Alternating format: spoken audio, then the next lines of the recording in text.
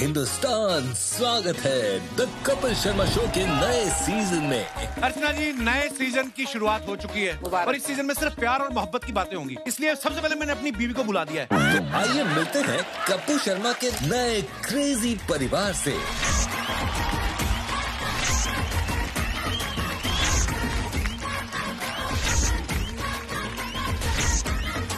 शर्मा जी हमारी शादी हुई थी दो साल पहले। लॉकडाउन में जो भी हुआ कैंसिल ढूंढो मैं कहा हूँ? ए जी आपके पीछे कोई खड़ा है? कौन खड़ा है?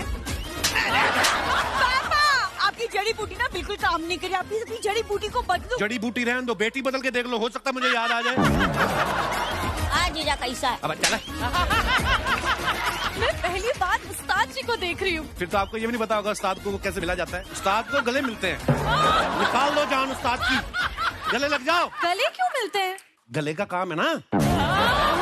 उस्ताद जी मैं हूँ। मैं इस मोहल्ले का काफ़ी रेप्यूटेड संगीतकार हूँ। आपको गाना आता है? गाना आता है? तो सुनाओ फिर। सुनाना नहीं आता। माई सेल्फ गुड़िया लॉन्ड्री वाली। जिसका कपड़ा गंदा नहीं उससे हमारा धंधा नहीं।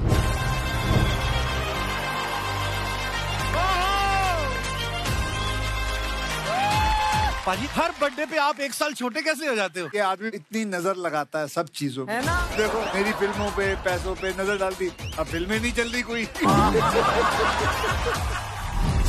हुम्मा हुम्मा हुम्मा हुम्मा मैं आपके लिए गाना गा सकती हूँ। प्लीज़ भैया मोरे राखी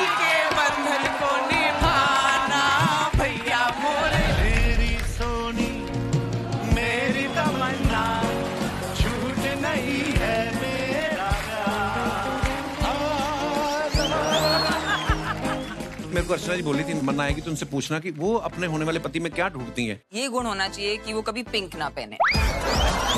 जब भी कोई सुंदर सी एक्ट्रेस आती है शो पे कपिल सर सबके साथ फ्लर्ट करते हैं। हमारे साथ क्यों फ्लर्ट नहीं कर रहे हो आप? वो ये पहन के नहीं आती ना।